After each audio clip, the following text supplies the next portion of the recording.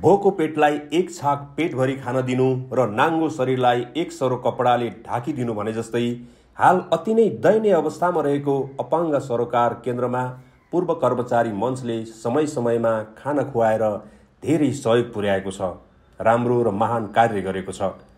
काठमाडौँ महानगरपालिका बालजु माछा पोखरी सोह्र बसन्तनगरमा रहेको अपाङ्ग सरोकार केन्द्रमा रहेका अपाङ्ग र अशक्त दाजुभाइ दिदीबहिनीहरूलाई पूर्व कर्मचारी मञ्चका अध्यक्ष रामचन्द्र फैयाल लगायतका सदस्यहरूले खाना खुवाउने कार्य गर्नुभएको छ।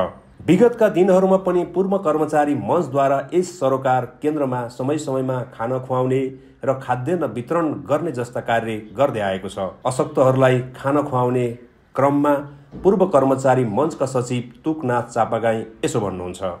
यो हाम्रो पूर्व कर्मचारी सहयोगी मञ्च दुई हजार छयत्तर साल पुस नौ गते हामी त्योभन्दा अगाडि नै सङ्गठित रूपमा भेला भएका थियौँ र केही समाजमा हामीले सेवामा रहँदा गरेका आफूले पाएका भोगेका अनुभव र अब आगामी दिनमा हामीले समाजमा के कस्तो चाहिँ सहयोग गर्न सक्छौँ समाज उत्थानको लागि सामाजिक विकासको लागि के गर्न सक्छौँ भन्ने उद्देश्यका साथ हामी भेला भएका कर्मचारी सेवानिवृत्त कर्मचारी जुन हामी कर्मचारीहरूको एउटा भेला हाम्रो आयोजना गऱ्यौँ र त्यो भेलाले हामीले पुस नौ गते छयत्तर पुस नौ गते हामीले एउटा विधिवत रूपमा अब यसलाई संस्था नै बनाऊँ र सङ्गठित हौँ भन्ने उद्देश्यका साथ हामीले एउटा संस्था जन्मायौँ जुन संस्थाको नाम पूर्व कर्मचारी सहयोग मञ्च भन्ने हामीले नामाकरण दियौँ र त्यो संस्थाले आजसम्म यस्तै किसिमका सामाजिक क्रियाकलापहरू अब कहिले हामीले पशुपतिमा वनकारीमा भएको महायज्ञमा पानी खुवाएर होस् शान्तिधाममा नि शुल्क पानी वितरण गरेर होस् गरिब जेहेन्दार विद्यार्थीहरूको लागि शैक्षिक सामग्री वितरणका कार्य होस् र अनि यस्तै किसिमका अनाज त्यहाँ हाम्रो उसमा पनि हाम्रो तारकेश्वर वडा नम्बर दुईमा सिमलेश्वर जुन विराट विराट सनातन संस्कृत विद्यापीठ भन्ने छ र त्यसमा पनि विभिन्न जिल्लाका तेत्तिस चौतिसजना विद्यार्थीहरू संस्कृतमा अध्ययनरत छन् र तिनीहरूलाई पनि हामीले यस्तै किसिमका सामाजिक क्रियाकलाप दुई तिनवटा हामीले त्यहाँ पनि गऱ्यौँ र यो हाम्रो पछि मात्रै हाम्रो दिमागमा आयो र हामीले जानकारी पायौँ। जानकारीमा पा आएपछि अनि हामीले एकपटक हामीले यो कति अब भयो दुई तिन महिना भयो होला हामीले खाद्यान्न वितरण गऱ्यौँ र एक दिने हामीले एक दिवसीय भोजन हामीले गरायौँ र यो त्योभन्दा पछि फेरि हामीले असार दस गतेको टाइम ल्याएको थियो। त्यो टाइम अलिक पोस्टपोन्ड भयो र पछि हामीले एकजना दाता हाम्रा वासुदेव ढकालज्यूले फेरि त्यस्तो किसिमको भोजनको आयोजना गर्नुभयो। सदस्य हाम्रो संस्थाका सदस्य वासुदेव ढकालजीले त्यस्तो किसिमको चाहिँ नि म खुवाउँछु।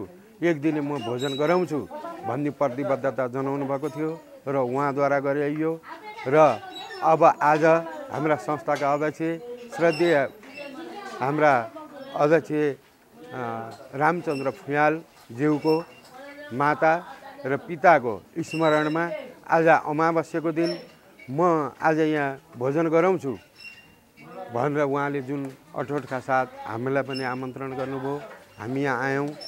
आइज मैले यस्तो गर्दैछु भन्नुभयो र यहाँ आयौँ। यहाँको दयनीय अवस्था देख्दा अब हामीले पटक पटक अरू दाताहरूलाई पनि ए यस्तो ठाउँ छ है भनेर अब यो ओजेलमा पऱ्यो अब यसलाई कसरी अगाडि बढाउने भनेर हामी पनि हाम्रा तह र तब्काबाट हामी लागिरहेका छौँ।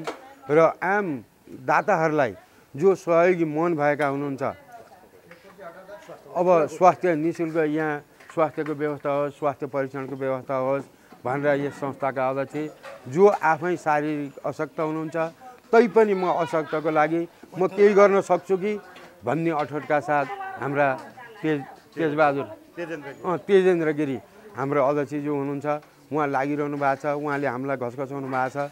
हामीले सकिन्छ कि भनेर त्यो एउटा नि शुल्क हप्तामा हुन्छ महिनामा हुन्छ अथवा दुई महिनामा हुन्छ। एकपटक सामूहिक रूपमा यिनीहरूको स्वास्थ्य परीक्षण गर्ने चाहिँ व्यवस्था मिलाउनलाई उहाँले भनिरहनु भएको छ। हामी त्यसमा निरन्तर लागिरहेका छौँ। अपाङ्ग सरोकार केन्द्र हाल अति नै दयनीय अवस्थामा रहेको देखिन्छ। यहाँ नियमित खाने खानाको समेत समस्या भएको अवस्थामा हाल कोही बिरामी अवस्थामा छन् भने उनीहरूको उपचारको लागि पनि समस्या नै देखिन्छ। बिहान बेलुकाको छाक टार्न समेत धेरै कठिनाई भएको अवस्थामा यस सरोकार केन्द्र रहेको जग्गाको भाडा तिर्ने विषय झन् थप समस्या रहेको कुरा यस केन्द्रका अध्यक्ष बताउनुहुन्छ।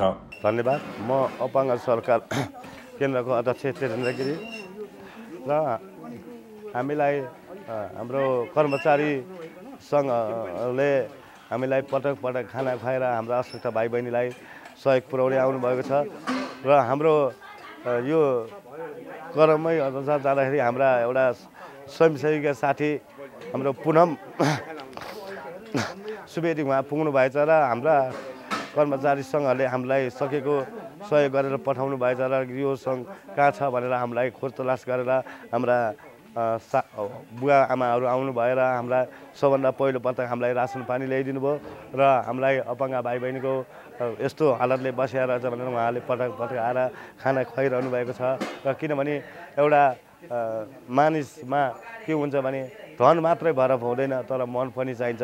र हेरि म उहाँको मन धेरै छ र उहाँले हाम्रा भाइ बहिनीहरू होलचेयरमा कोही होलचेयरमा बस्छन् कोही बामेश्वर रहन्छ त्यस्ता भाइ बहिनीहरूको यी पनि मेरै छोराछोरी हो भनेर मेरा भाइ बहिनीहरूलाई माया दिनुभएको छ। पटक पटक आएर खाना खुवाउनु भएको छ।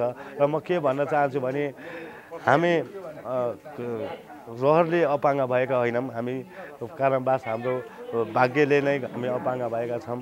तर किनभने हामीलाई बाँच्ने आधार हामीलाई उहाँ बाबा आमाले दिनुभएको छ र किनभने हामी के भन्न चाहन्छु भने म मेरा भाइ बहिनीहरूलाई यति गाह्रो छ यति पीडा छ तर यी भाइ बहिनीहरू अशक्त भाइ बहिनीहरू होलसेलमा बस्नेलाई मात्रै थाहा होला तर किनभने मान्छेले भन्छन् यिनीहरू अपाङ्ग हुन् भनेर कति मान्छेले घृणा पनि गर्छन् कति मान्छेले माया पनि गर्छन् तर त्यस्ता मा घृणा नगरौँ मायाको सक्छौ माया गर सक्दैनौ घृणा पनि नगर भन्न चाहन्छु। र मेरा आजसम्म हाम्रा यो भवनमा दुई हजार पैँसठी सालदेखि स्थापना गरेर अहिले चौध पन्ध्र वर्षको उमा टेक्दैछ यो संस्था र आजसम्म कुनै दाताहरूले के अरे सहयोगी संस्थाले गरेको छैन। हजुरहरू जस्तै दाता आएर हाम्रा भाइ बहिनीलाई इच्छाको भोजन खुवाएर एक दुई बेला चामल किनेर नै हाम्रा भाइ बहिनीहरूलाई आजसम्म पुगेको छ भगवान्को कृपाले। र म के भन्न चाहन्छु भने मेरा पीडित मेरो दुःख त धेरै छ तर मेरो सबै दुःख गाएर पनि म भन् अहिले उल्था गरेर म गर्न सक्दिनँ। किनभने अस्ति मात्रै हाम्रा एउटा दाता मेरै रामकोट मेरो घर रामकोट हो। सीता पाइलाकै मान्छेलाई मेरा भाइ बहिनीलाई खानाको लागि बास तरसमा पानी चुहेको थियो मैले रोइ कराइ गरेर मेरा दातालाई भने र उहाँले तरस फेरिदिनु भयो र हाम्रो कर्मचारी सङ्घलाई नि मैले भने पटक पटक मलाई सहयोग गरेर आउनुभएको छ। उहाँलाई धेरै धेरै मेरो हृदयदेखि धन्यवाद दिन चाहन्छु।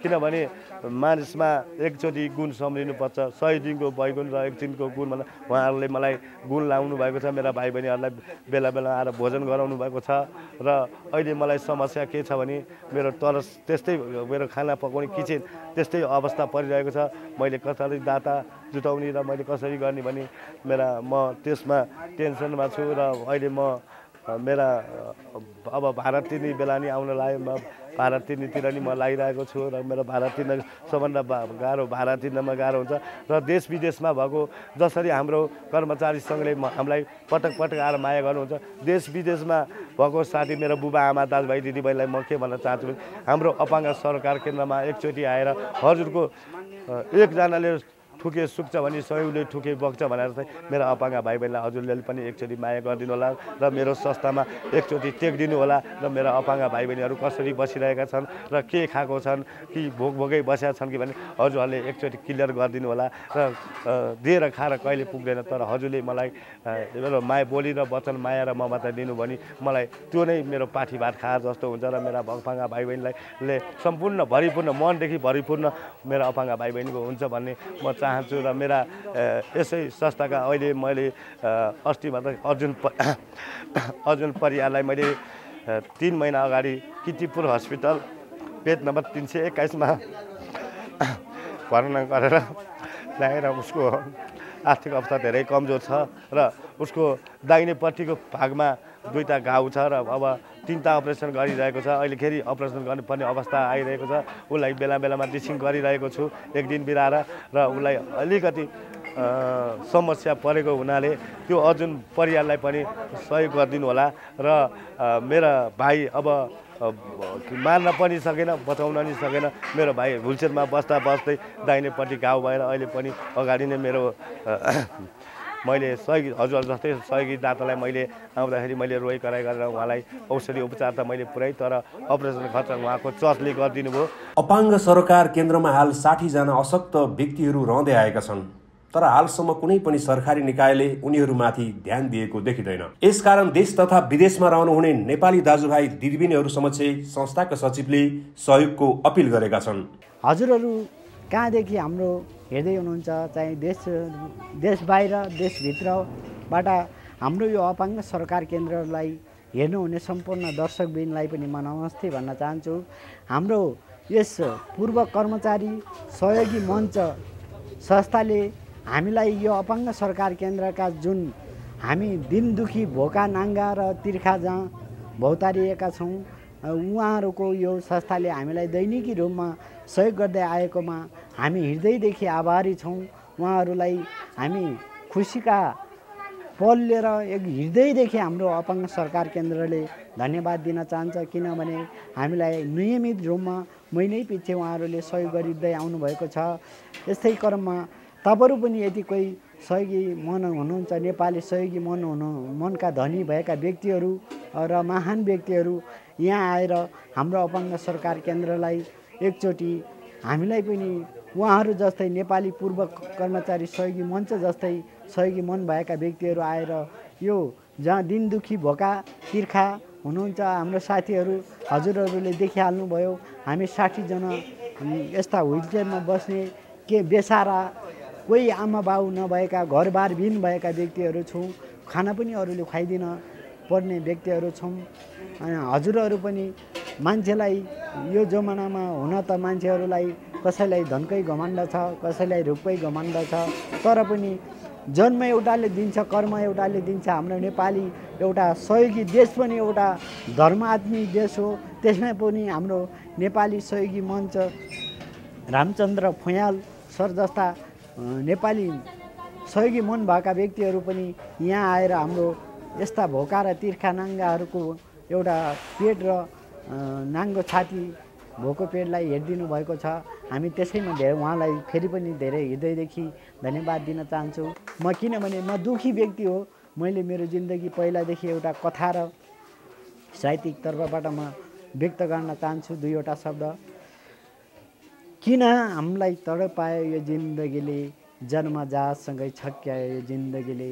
कल्पनाको संसारमा खेल्दा खेल्दै कल्पनाको संसारमा खेल्दा खेल्दै बिहानीकै यात्रामा सक्यायो जिन्दगीले बिहानीकै यात्रामा सक्यायो यो जिन्दगीले। दुःख र सुखका अनुभूति भोकेरै जानु दुःख र सुखका अनुभूति भोकेरै जानु। यस्तै दुखी र भोका तिर्खाएका नाङ्गाहरूको पेट नियमित सहयोग गरिदिनु भएको छ हाम्रो पूर्व कर्मचारी सरले। अझै केही जिन्दगीमा प्रगति गरेरै जानु दुःख र सुखका अनुभूति भोकेरै जानु। हर कोही मान्छे पनि आफ्नो बोलीको पछाडि लुकिरहेको हुन्छ। भन्नुभन्दा कसैलाई बोल्ने अवसर दिनुपर्छ। भन्दै हाम्रो पूर्व कर्मचारी सहयोगी मन संस्थालाई हृदयदेखि आभार प्रकट गर्दै मेरा दुई दुई चारवटा शब्द यहीँ टुङ्ग्याउन चाहेँ। हस्त नमस्ते। अपाङ्ग अशक्त र भोको पेटलाई एक छाक पेटभरि खुवाउनु मानवताको धर्म हो। सकेसम्म सहयोग गरौँ। नसके यो भिडियोलाई अन्य सहयोगी मनहरूसम्म पुर्याउन सक्दो सेयर गरौँ।